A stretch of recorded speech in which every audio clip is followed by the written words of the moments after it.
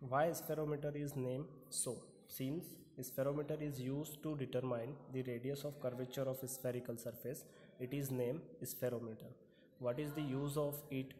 It is used for determination of radius of curvature of spherical surface. How do we calculate radius of curvature? Means formula which is r is equals to l square over 6h plus h over 2 where l l is the average length you just put this parameter over a plane surface plane paper mark three points this distance is called a b and c. Add all these distance and divide by 3 you will get the value of 3 h is the height which is determined during the experiment. What is the mean by radius of curvature?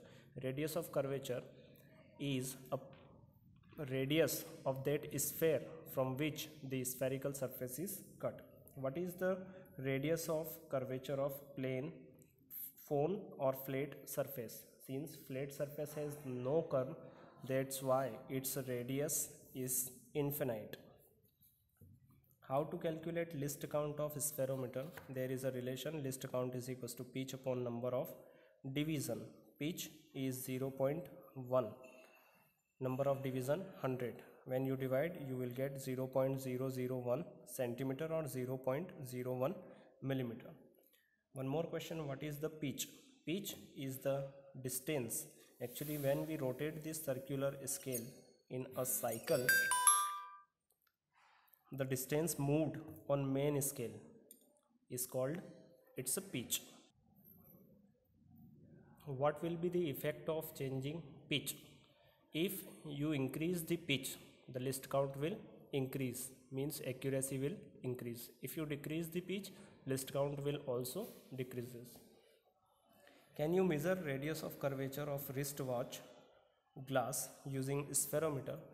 Uh, actually we can't measure the radius of curvature of wristwatch since wristwatch has a small plain glass and if we are to put this spherometer's arm on the glass and it, it is not possible. Have a look. So we can't determine the radius of curvature of this glass.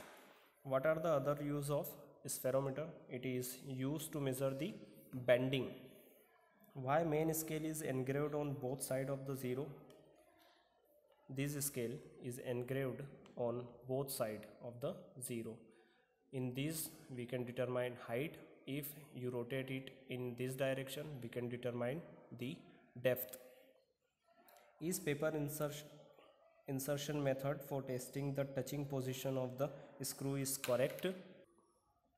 Paper insertion method is not good actually. Uh, we actually check that this tip of the spherometer should touch the plane. We put it and rotate and we see that this tip is touching by using this. If it moves look this tip is not touching. This method is not good because the thickness of paper is much more. What is the zero error of spherometer? Spherometer sometimes we take uh, reference reading uh, it so there is no need of uh, zero error.